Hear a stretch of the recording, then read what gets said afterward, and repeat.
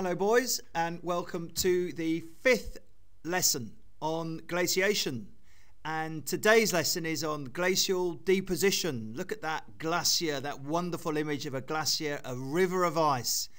And we're going to be thinking about some of the material that glaciers pick up and then deposit when they melt at the snout of the glacier. Should be a very short lesson today, no more than 30 minutes.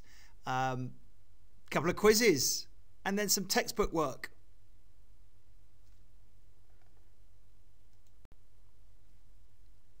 So, here is the first quiz.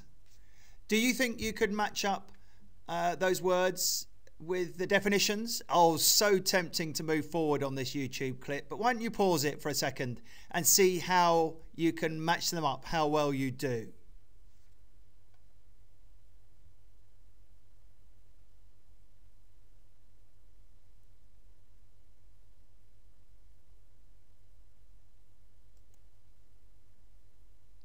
Here they are, the answers. How did you get on? All these words were from uh, last lesson, so hopefully you did well.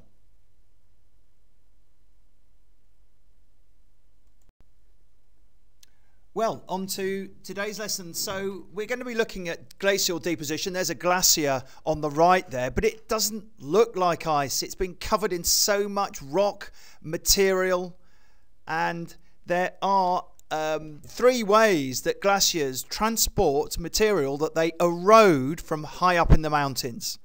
The first way is what we call supraglacial, uh, material that falls directly onto the surface of a glacier. Can you see that layer of rock on lying on top of the glacier?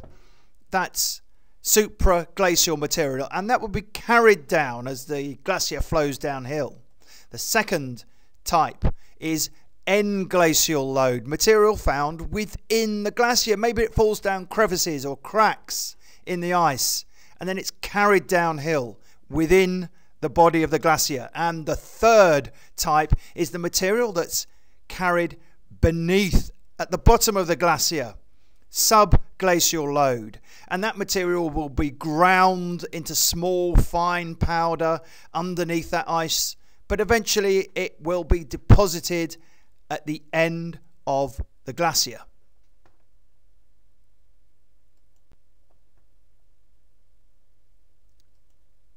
Well, glaciers will then dump this material when they melt and they'll create piles of material that we call or made from boulder clay. But um, these small scale mounds or piles of material often form ridges and they're called moraines.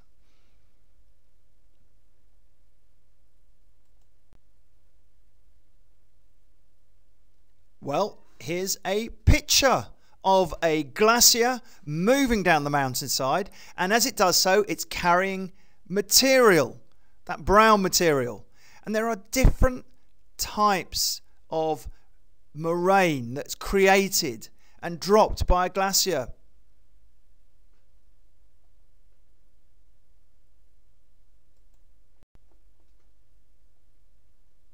Today's textbook will talk to you about these different types of glacial deposition and the features that are created.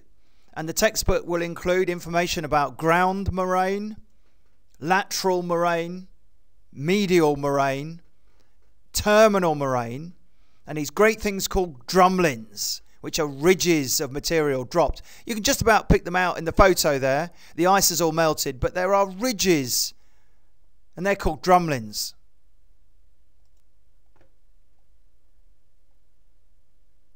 And the ice, when it disappears, leaves behind these different types of moraine. And if you're very clever, you can look at the landscape today and see the material that's been deposited in different ways. And the textbook will tell you much more about this. So, what I would like you to do for today's lesson is to answer all the questions in the textbook. There should be two attachments to this presentation and there are six questions in the textbook I would like you to answer. I'm going to give you time now to do that.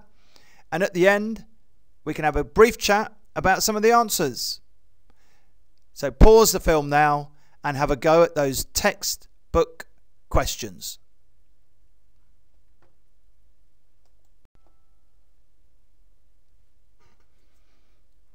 Well, how did you get on with those questions? Hopefully, well. And to test yourself, here's another quick quiz to finish with. Can you match up uh, the word with the definition? And it might be a good idea to put these in your exercise book so you can remember them. Tempting, I know, to go on to the next slide where the answers are found. But pause this for a sec, see how you get on.